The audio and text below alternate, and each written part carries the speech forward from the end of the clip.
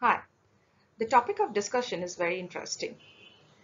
This is, we know that there are various physical forces is applied over the lungs and the chest.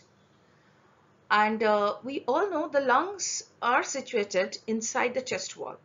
So the lung has its own physical properties and the chest has also its own elastic or the required properties. So how this lungs and the chest together brings about the pulmonary ventilation. This is called the mechanics of respiration.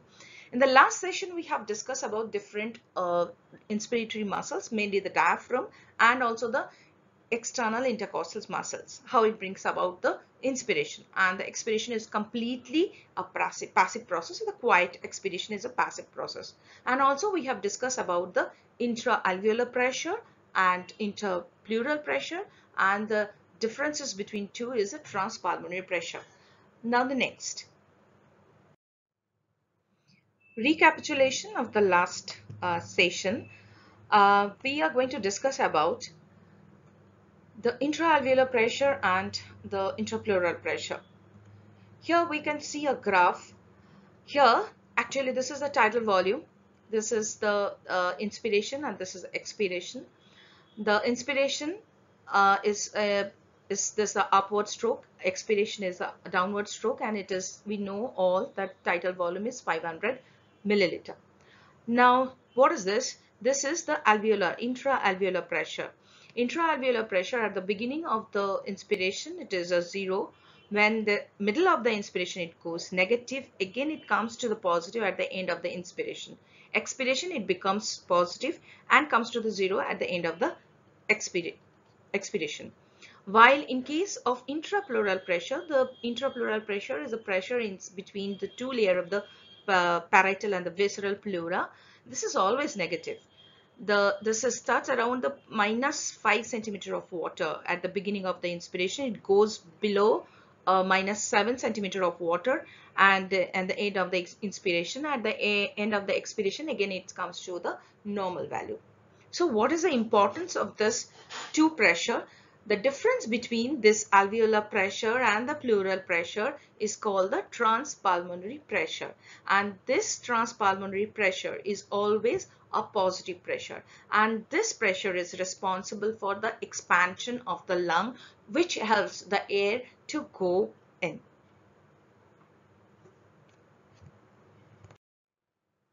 Now we are going to know the various factors which is uh, mainly responsible for uh, pulmonary ventilation. First factor is the elastic properties of the lung. Next, lung compliance, surface tension, elastic properties of the chest wall alone and airway resistances. So these are the uh, uh, physical factors which helps pulmonary ventilation each or sometimes together.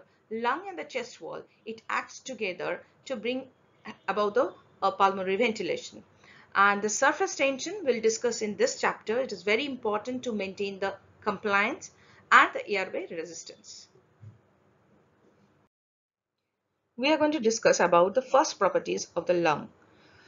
What is that? The elastic property or the elastic recoil of the lung. Here one diagram, this is the bronchial wall, okay, and around the bronchial wall, you can see these are the alveolar wall. This is the alveolar wall. This is one alveolus, and this is the sac. This white part is a sac of the alveolus. And here, these are the elastic fiber, and this elastic fiber is mainly the interstitium makes the interstitium of the lungs tissue. So uh, when because of the presence of this elastic fiber, this has a recoil property. Means you think about the balloon.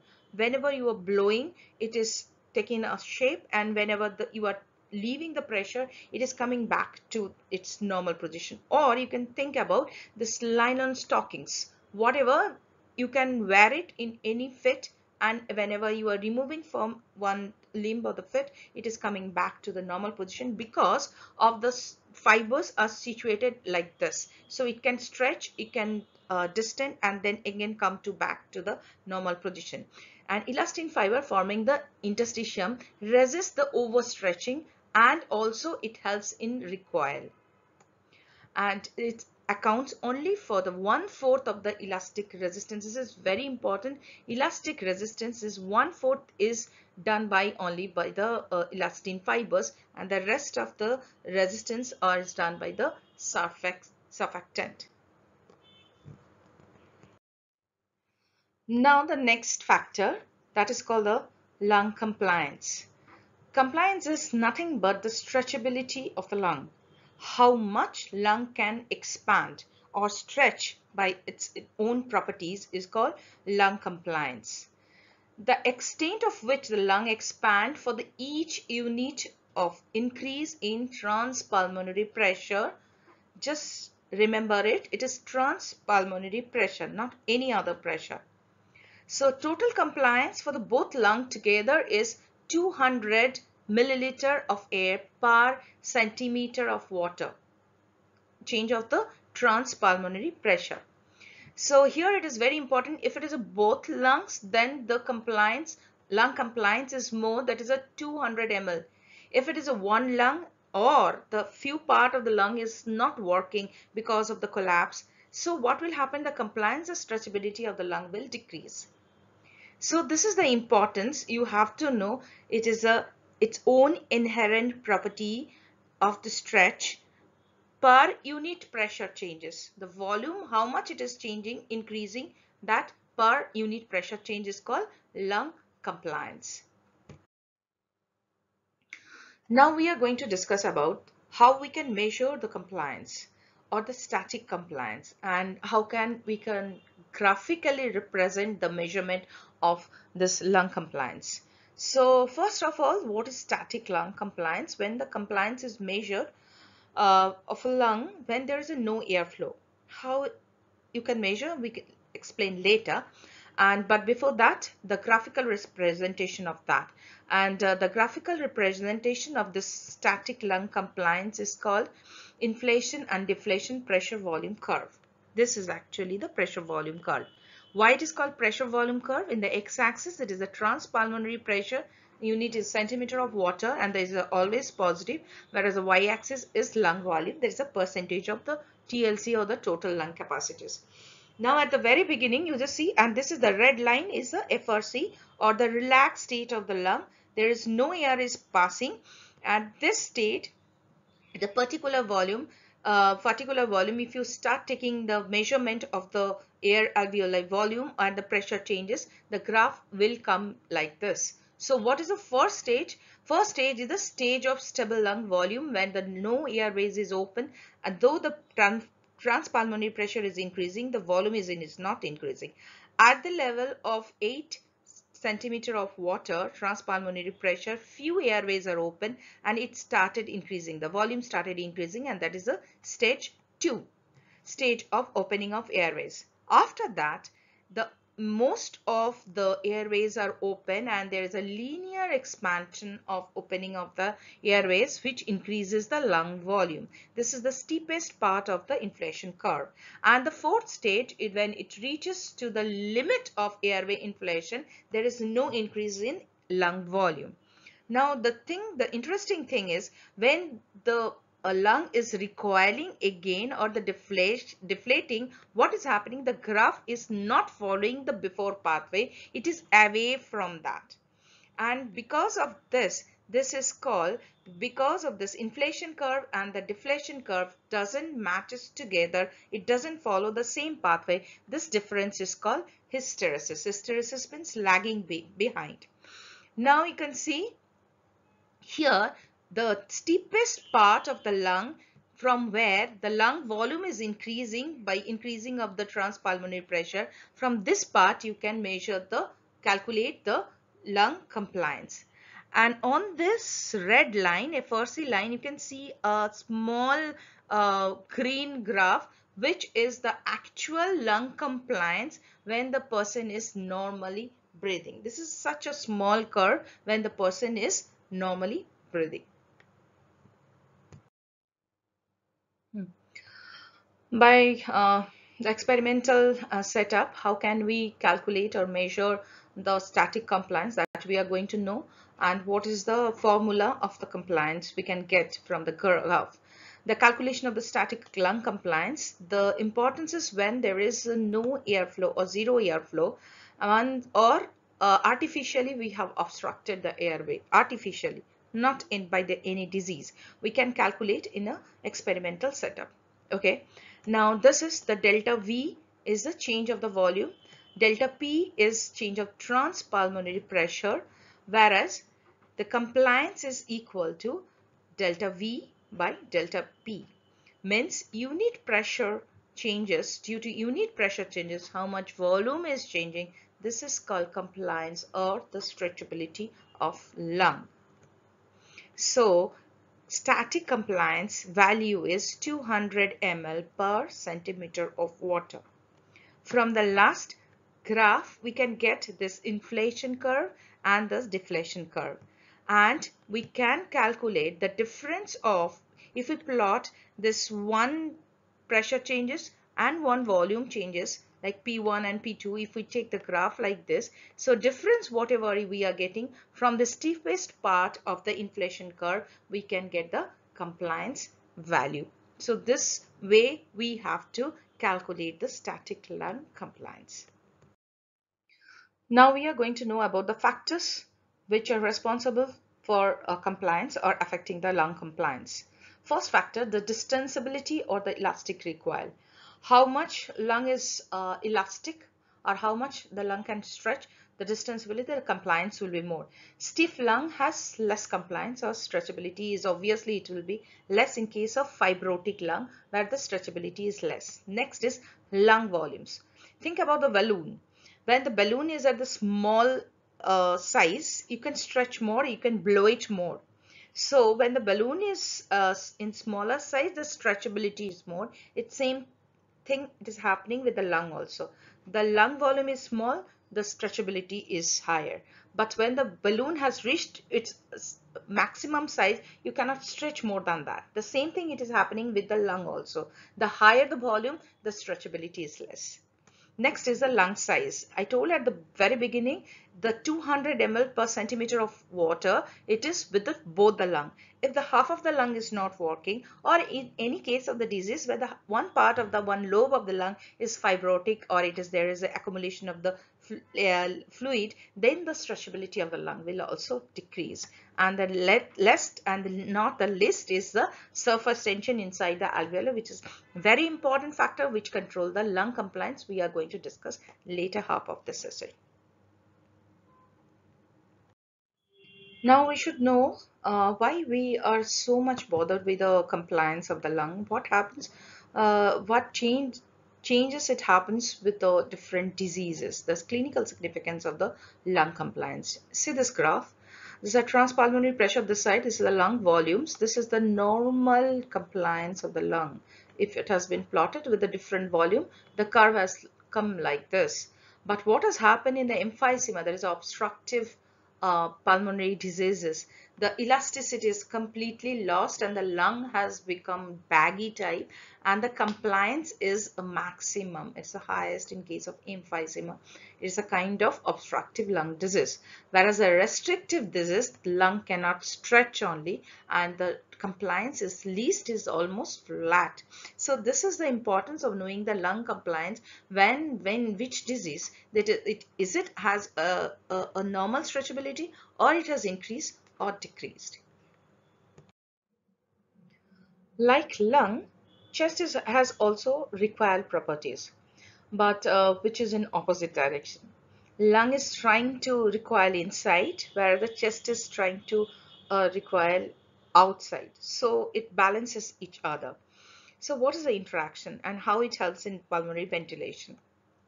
At the functional residual capacity, the elastic recoil of the lung and the chest balance each other.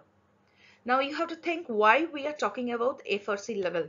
FRC is end of quiet inspiration, after that end of quiet expiration and the no air is passing through that. At that level, inside the lung, there is an expiratory reserve volume plus the reserve volume is there. This much amount of air is there. In that level, lung is trying to recoil inside and the chest is trying to recoil outside, outward. So it is it is creating a increased intrapleural pressure. So in that level, the in pulmonary ventilation will be better. Now what is happening at this FRC means that level the chest wall and the lung have an equal recoil but in the opposite direction. We can see the same thing in, with a graphical representation and this graphical representation is called the relaxation pressure volume curve of a lung. Why it is called relaxation pressure volume curve?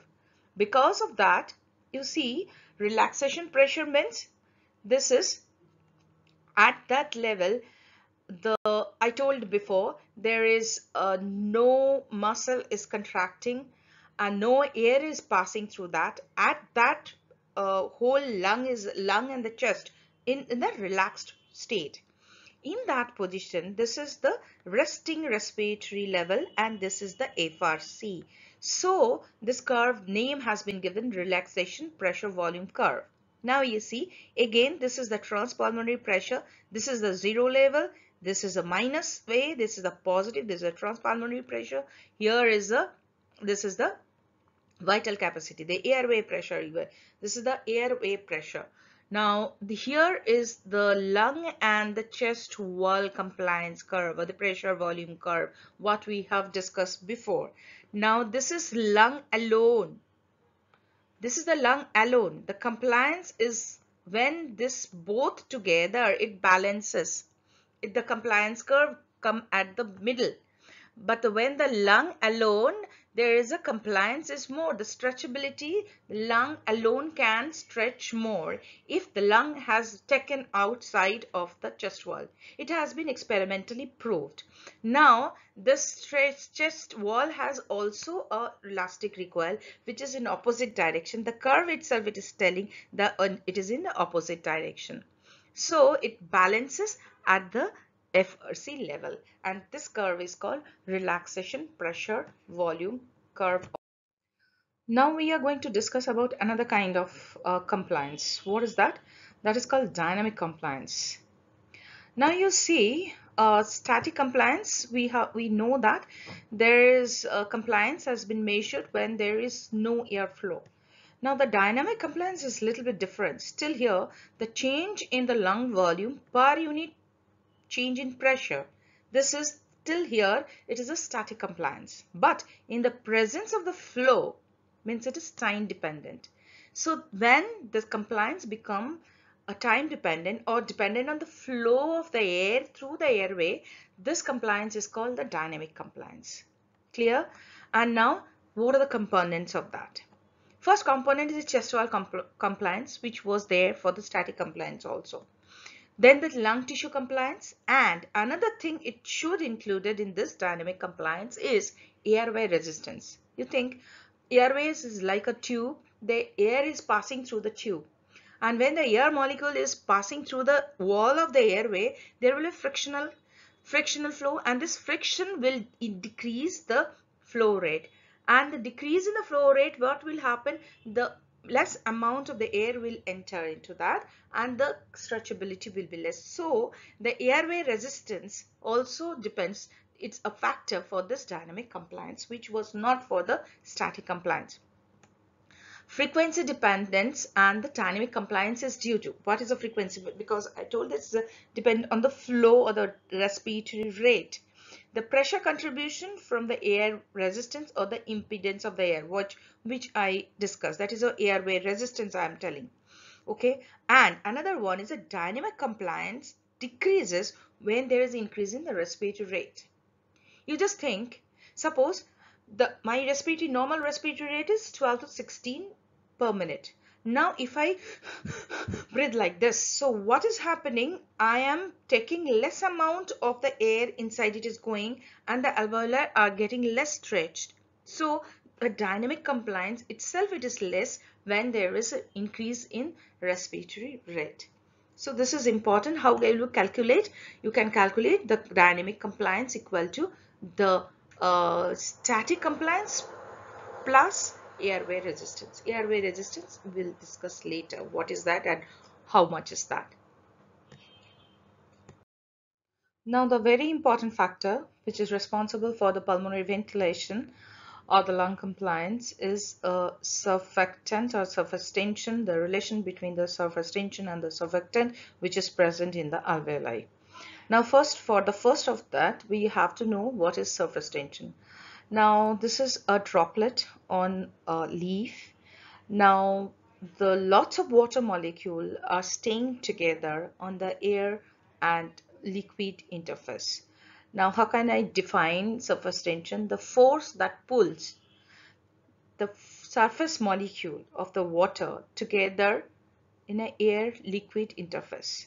Means in this uh, droplet, there is a lots of air water molecule and this water molecule are staying together because of the tension inside of the all uh, water molecules. When there is a air outside is air atmospheric air and the liquid there is an interface. This is called the surface tension. Now little more discussion about this uh, surface tension. How the intermolecular attraction happens. Now in this diagram we can see here there is a air and liquid interface. There is a water molecules. And each way each water molecules is attracted to each other. They are not going away. And this is called cohesiveness. Now what is happening here? This is another diagram. You can see this is the water molecules. These are the everywhere there is attraction. Okay? And this where there is a air and liquid interface this part this is missing this is not there because water molecule is not there instead of there there is a air so what is happening the force is directed to the interior of the medium for the upper layer of the water molecule. You just take it. This is the upper layer of the water molecules. This, this layer. This is the upper layer of the water molecule. You see, this is attracted to this one. But for this one, it is not there, upper one. The same thing, it is missing. So this missing forces is trying to crunch the layer of the air water molecule or the liquid molecule. So when there it should be there, there should be air and liquid interface is must otherwise this crunch or the force towards the center it won't be there and that's why in definition you have to say there is a air and liquid interface. Now we can uh, express the surface tension by the Laplace law. What is Laplace law? Laplace law uh, states that P equal to 2T by R. Now what is P? P is collapsing pressure or the transmural pressure means uh, it try to uh, collapse the lung alveoli. Here in case of lungs, T is a surface tension and R is a radius. Okay, now this is the diagram. You can see we can express with this. This is the diagram of a alveolus or the schematic diagram of a alveolus. Here we know there is a thin layer of water inside the alveolar wall clear? And there is a air or the gas. So there is a air and liquid interface. Now each molecule by the surface tension definition it is trying to collapse each other or attract each other. And this whole thing sheet of this whole water molecule is trying to collapse the alveoli. And just see here if the surface tension is more so transmural pressure or the collapsing pressure will be more. And another thing the radius is inversely proportional with the this. So what is happening? Radius if it is less so collapsing pressure will be more. So smaller alveoli because of the surface tension it is trying to collapse Here we can uh, explain with a schematic diagram the importance of the radius, alveolus radius on the uh, uh, surface tension.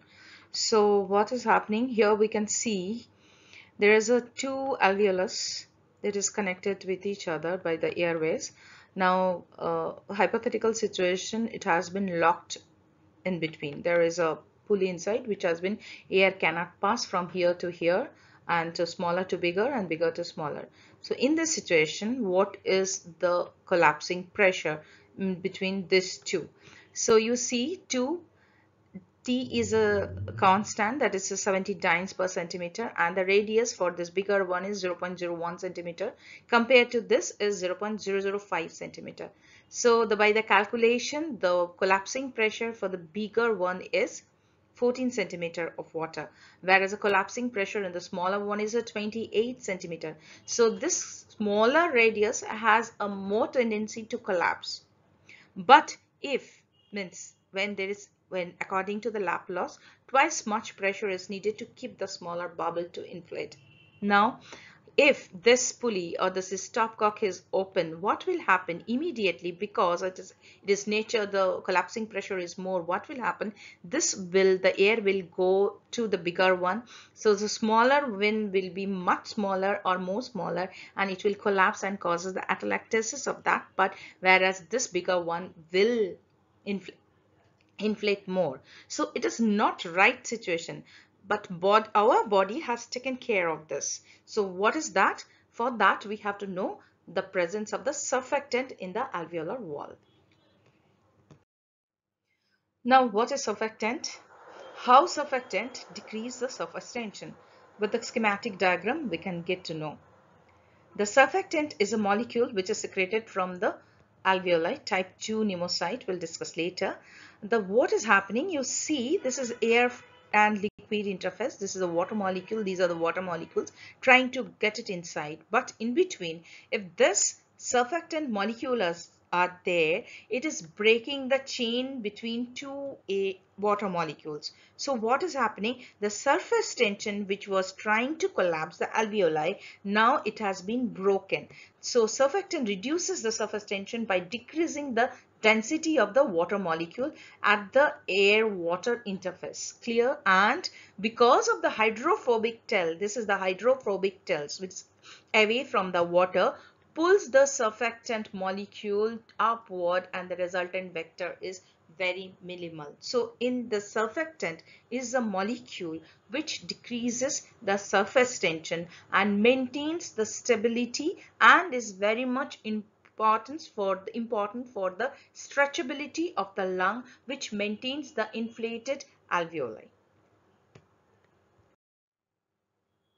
As in the last uh, slide we have seen there, there is a surfactant molecule has a two parts. One is a hydrophobic and a hydrophilic. Hydrophilic ends are embedded in the water or the liquid molecule, whereas a hydrophobic is away from this. So you should know the what is the composition is very much important. Any difference in the composition will decrease, increase the surface tension and it may affect the lung compliance.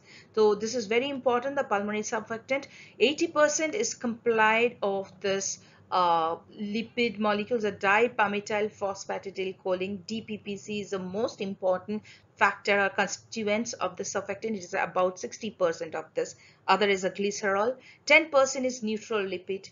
Okay, this is phospholipid. This is the neutral lipids, and there is a protein are there that is very important. This maintains also immunity, and this is 10% of the surfactant protein. And you have to know what the types of this surfactant proteins. One is A, B, D and C. So A and D is hydrophilic means it is towards the water molecules and B and C is hydrophobic.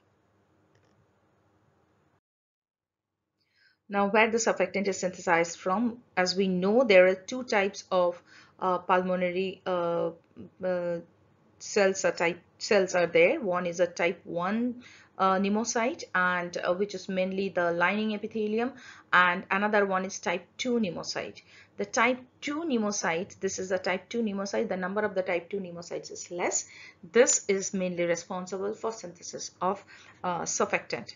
And this surfactant precursors like the palmitate uh, glucose these are collected from blood and then packed inside in the mitochondria. Mainly dipalmityl phosphatidylcholine is synthesized in the mitochondria whereas the protein molecule SPA B C D they are synthesized in the endoplasmic reticulum. Both this together packed into this Golgi apparatus and then come to the tubular myelin. And the tubular myelin continuously secretes this surfactant molecule where there is a air and liquid uh, interface so by step we can uh, uh, go. Now by the flow chart we can explain the steps of synthesis.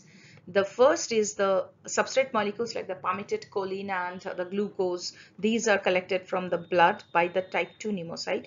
there's this is mainly synthesized in the mitochondria dipalmityl phosphatidylcholine while in the endoplasmic reticulum this uh, protein molecules are synthesized. Dppc and dpcc and the proteins are packaged in the golgi apparatus.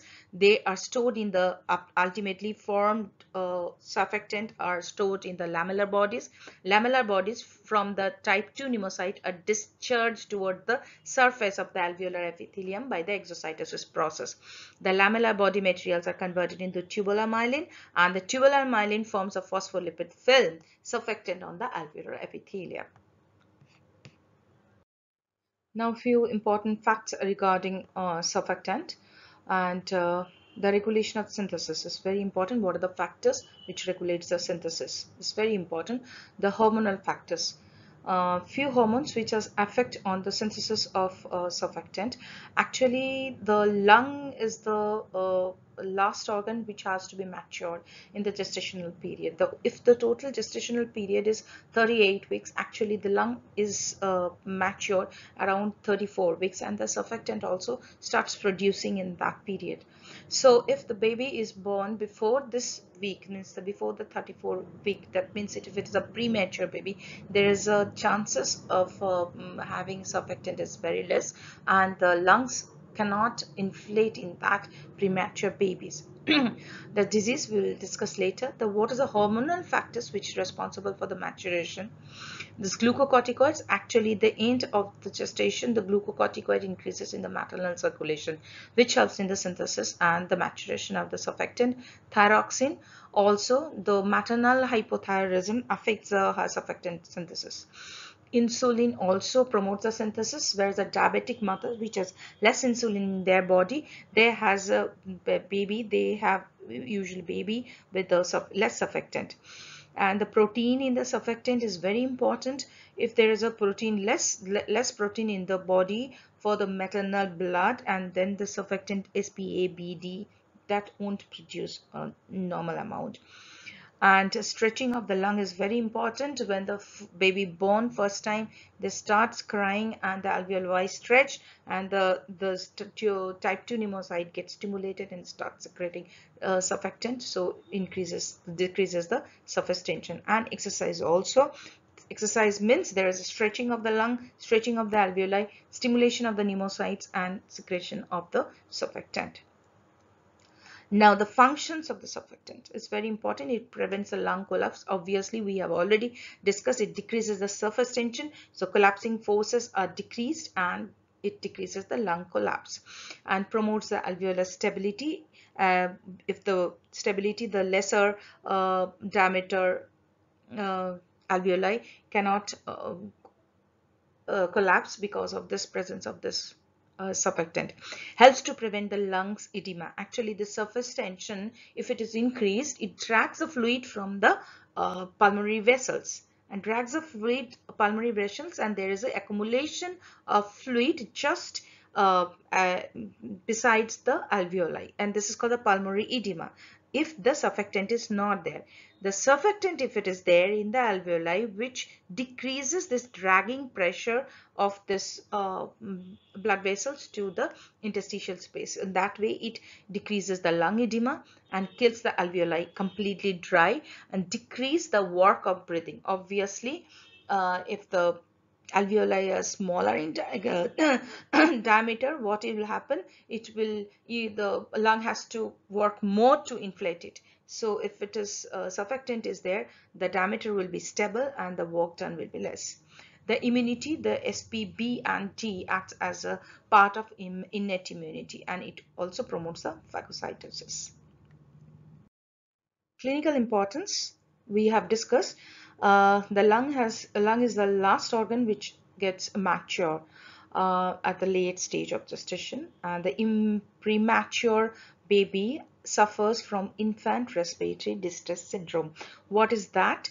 There is a collapse of the lungs due to deficiency of the surfactant in the premature baby.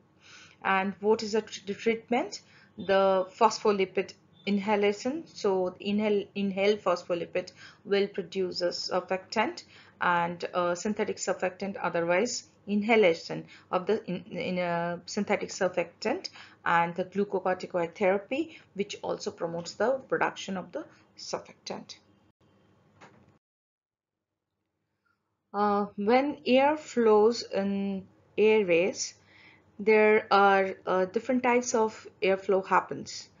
Uh, usually the normal type of airflow is, is streamline flow. And uh, when there is uh, increase in rate of flow, means because of the respiratory rate is increased. So this normal streamline flow converted to uh, turbulent flow or sometimes when there is a diameter of the airway decreases because of the that decrease suddenly uh, from a larger uh, airway to a smaller airway the flow of the uh, air will increase because of the kinetic energy. There is a uh, the force is also increased and it becomes turbulent. So another type of the flow inside the air airway is turbulent flow. So uh, what is happening? The this is the diagram of a different type of flow inside.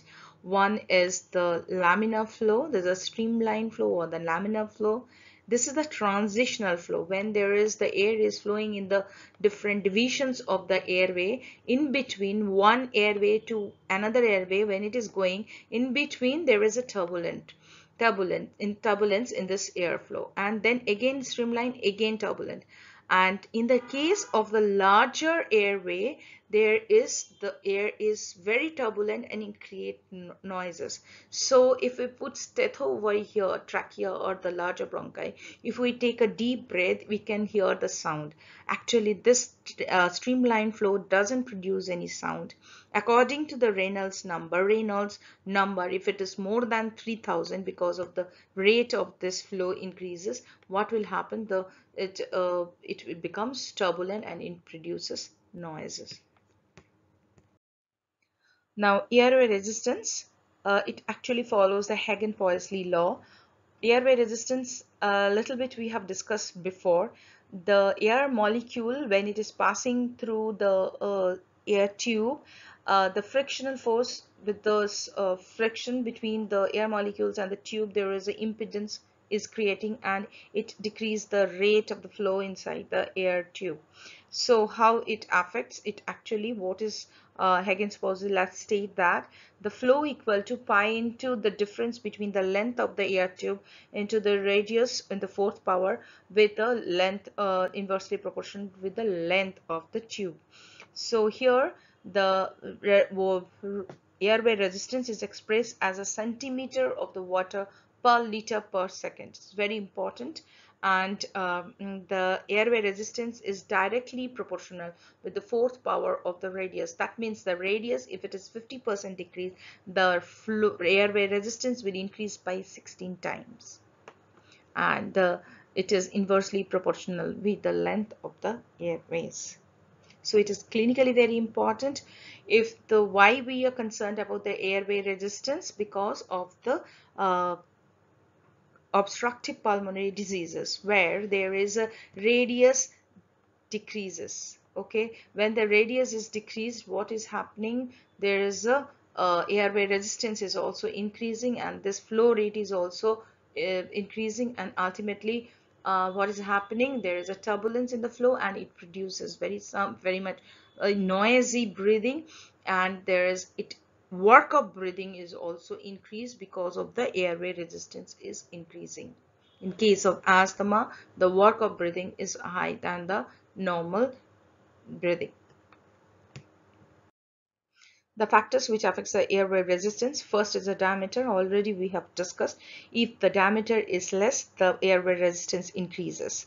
The lung volumes, if the lung volume is more, then the airway resistance is less. Means that during inflation period, when the person is in, in taking uh, air inside it is inflating the lung volume is increasing airway resistance is decreasing and airway resistance is increasing when the person is expiring. So mostly during the obstructive lung disease the airway gets reduced during the expiratory phase. This is very important clinically.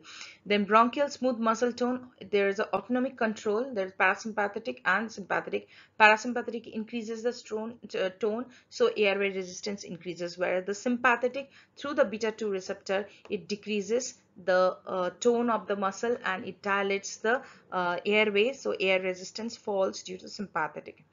And the humoral factors the beta 2 adrenergic receptor causes the dilatation of the airway and drugs, the beta-2 adrenergic receptor agonist, the salbutamol usually prescribed for uh, asthma people and the environmental factors, the dust and the smoke who are allergic to these uh, environmental factors. This increases the secretion of the mucus by the goblet cells which is present in the uh, respiratory tract and also secretes histamine which histamine causes the bronchoconstriction which increases the airway resistance and the viscosity and density of the inspired air that means the density when viscosity increases when the air becomes cold.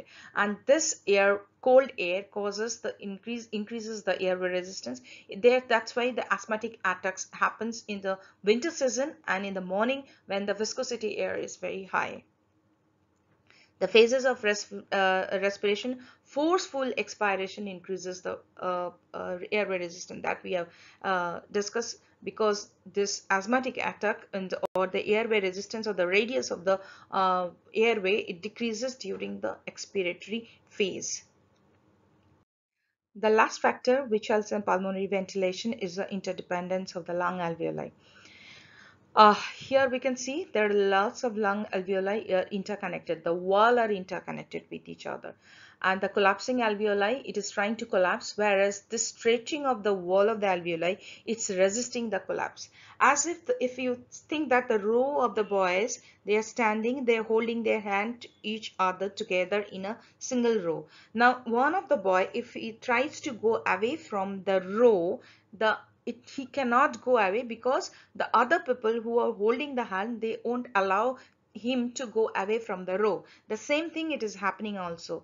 The, because of the wall of the each alveoli are connected. Even this one is connected with this this one is connected with this and interconnected. It helps from it resists this alveoli from collapsing. This is called the alveolar interdependence.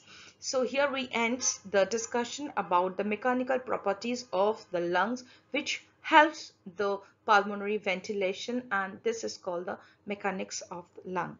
Thank you.